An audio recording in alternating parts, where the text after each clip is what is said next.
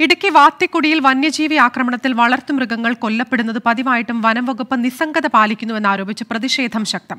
സമരസമിതിയുടെ നേതൃത്വത്തിൽ വാത്തിക്കുടി പഞ്ചായത്ത് ഓഫീസ് ഉപരോധിച്ചു.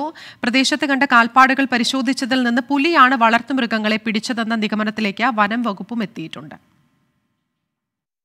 കഴിഞ്ഞ ഒരാഴ്ചയായി വാത്തിക്കുടി പഞ്ചായത്തിലെ ജനങ്ങൾ വന്യജീവി ശല്യത്തിൽ പൊറുതിമുട്ടിയിരിക്കുകയാണ് നിരവധി വളർത്തുമൃഗങ്ങളെ വന്യജീവി ആക്രമിച്ചു കൊന്നു. പുലിയാണെന്ന സംശയം നാട്ടുകാർ പറഞ്ഞതോടെ വനംവകുപ്പ് സ്ഥലത്തെത്തി ക്യാമറ ട്രാപ്പുകൾ സ്ഥാപിച്ചു.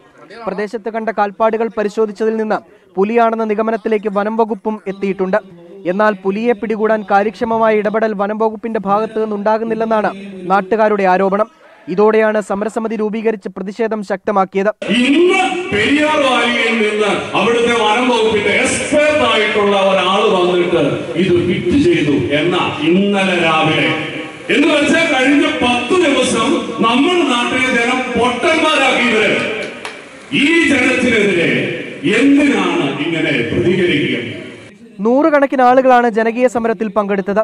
സമരം പ്രഖ്യാപിച്ചതിന് പിന്നാലെ മന്ത്രി റോഷി അഗസ്റ്റിന്റെ നേതൃത്വത്തിൽ സർവകക്ഷി യോഗം വിളിച്ചിരുന്നു. പുലിയെ പിടികൂടാൻ കൂട് സ്ഥാപിക്കണമെന്ന നിർദ്ദേശവും മുന്നോട്ട് വെച്ചു. എന്നാൽ നിർദ്ദേശം മാത്രം പോരാ. അടിയന്തര നടപടി ഉണ്ടാകണമെന്നാണ് നാട്ടുകാരുടെ ആവശ്യം. പ്രശ്നത്തിന് പരിഹാരമുണ്ടായില്ലെങ്കിൽ പ്രതിഷേധം ശക്തമാക്കുമെന്നാണ് നാട്ടുകാരുടെ മുന്നറിയിപ്പ്. ട്വന്റി ഇടുക്കി.